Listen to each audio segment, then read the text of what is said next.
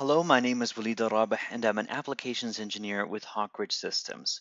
In this video, I will be showing you how to simulate an open container filled with a fluid.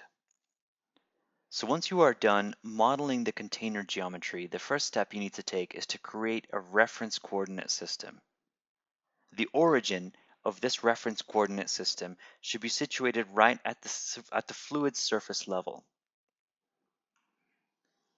So for this example, I want this container to be filled right to the top. The second aspect of your coordinate system is that one of the major axes should be situated vertically. This will represent the height of the fluid starting at zero at the surface and increasing right down to the bottom of the container.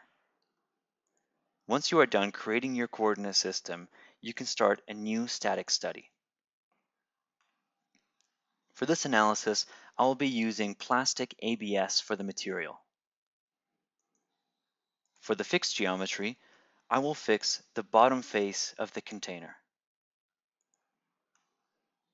Now we can set up our external loads. I will set a pressure on the inside walls of the container. This represents the pressure that the fluid exerts on the container walls. Now I can set my pressure value. I'll be using the metric system with meters as the unit of length. I will set the multiplier to 1, and now I can activate the non-uniform distribution option. For the coordinate system, I can choose the reference coordinate system which we created earlier. Then I will make sure my unit of length is in meters and edit the equation. Here we can see variables for the major axes, namely the x, y, and z. In this analysis, I am only interested in the y-axis. Therefore, the x and z variables should have no effect. In order to negate them, I will simply delete them. You can also multiply them by zero. And now I will multiply the gravitational constant, which is 9.81 meters per second squared, multiply by the fluid density. So for water, that's 1,000 kilogram per meter cubed. Then I will multiply that by the height of the fluid in meters. Now I can accept this.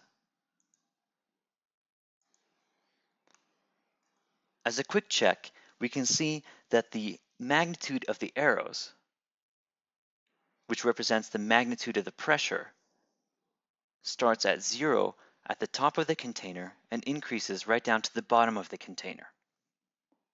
And this is what we would expect.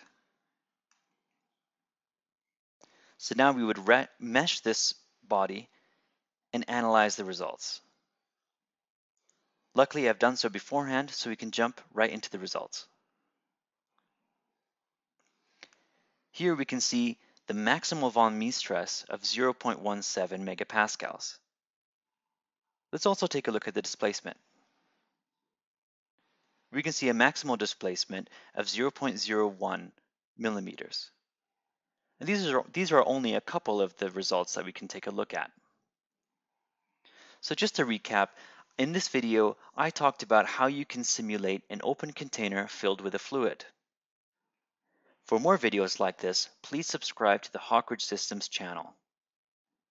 Thank you very much for watching.